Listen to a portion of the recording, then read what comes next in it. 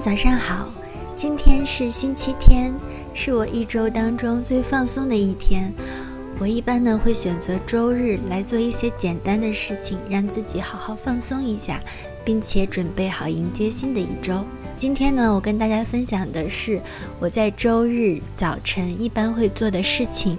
希望在看这个视频的你，不论在什么地方，都可以有时间让自己好好调整、放松下来，享受愉快的周末。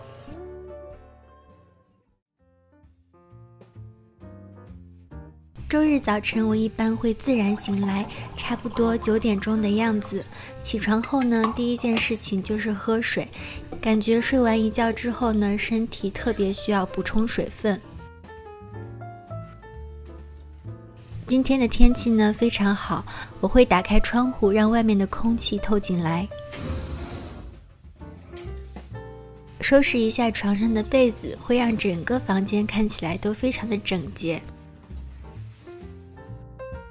因为今天呢是在家里，所以我就穿一件舒服的衣服。早晨对我们每个人来说都很重要。我起床后的第一件事情呢是看书。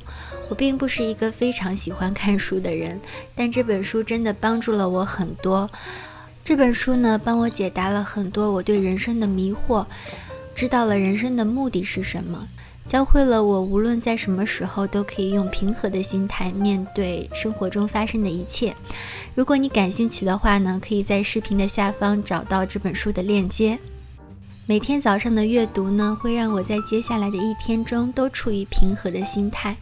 现在的社会发展太快了，大千世界中无奇不有。无论外面的世界正在发生什么，如果你有很好的心态去面对一切，我觉得是非常重要的。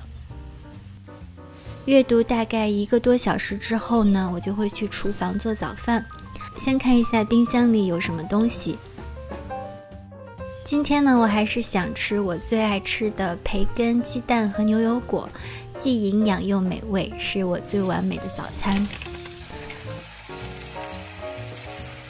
今天呢，我还想做一杯 smoothie，这是我最新发明的，就是把我有的水果呢加到这个杯子里面。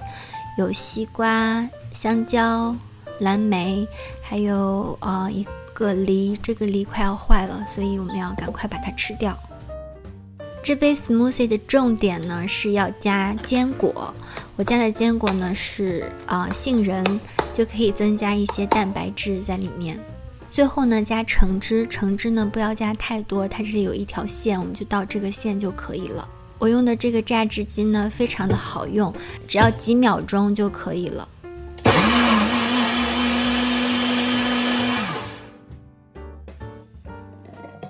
因为今天天气很好，所以我想到院子里去吃早饭。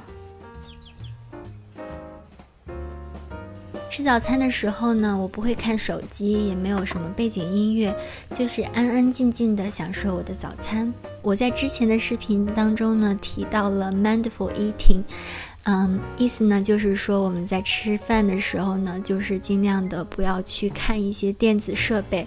要尽量的享受发生在你身边当中的小事，这样呢会让你更多的能够活在当下，真正的品尝到食物的味道，每一口咀嚼呢都会感觉到非常的美味。吃完早饭、洗完碗之后呢，我就要给我的鸡准备一点食物。他们其实已经吃过早饭了，因为他们起床非常的早，是我妈妈先喂他们。我现在给他们准备的是一点小零食。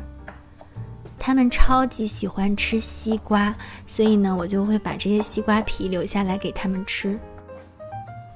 他们还特别喜欢吃我妈妈蒸的馒头，是他们的最爱。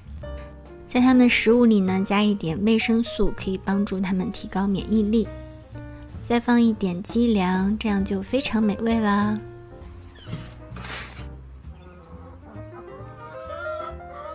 饿了吗？走吧，去那边吃去。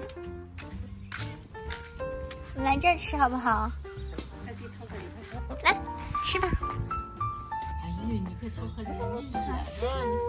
喂他们食物的时候呢，我也会在院子里跟他们玩一会儿，增进一下我们的友谊。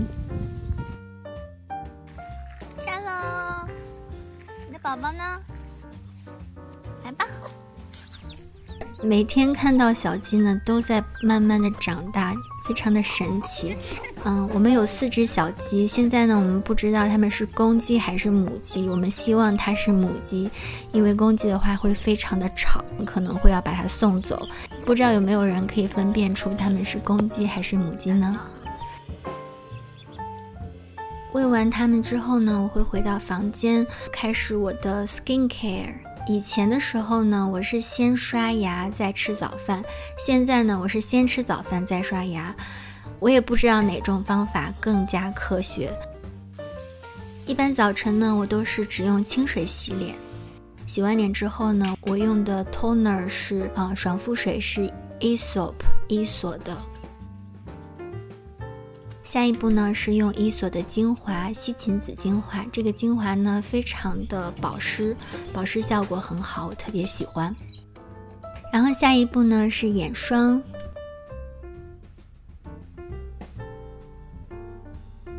眼霜完了之后呢是面霜，这个面霜呢非常的轻薄，很容易推开，保湿效果也非常的好。这就是我的清晨护肤，非常简单。接下来呢，我就开始计划一下我今天可以做什么。我是一个非常非常喜欢做计划的人，可以看到我的本子上永远都有做不完的事情。但是这些计划当中呢，我很少可以按时完成。即使我没有办法全完成，也无法阻挡我喜欢做计划的热情。我会把我能想到的需要做的事情全部列出来，因为是周末呢，我不会给自己很大的 project，是一些比较小的、简单的事情，也可以为我的下一周做一点准备。比方说今天呢，我会做的事情有清理一下院子，打扫一下房间里最乱的角落，上网买东西，还有交水电费和对下一周的规划。接下来的时间，我就是会去做 list 上面的事情啦。这就是我的 Sunday morning routine。希望我做的事情里面呢，你有可以用到的地方，也可以给你带来一些启发。祝你有一个快乐美好的一天。那我们下次再见吧，拜。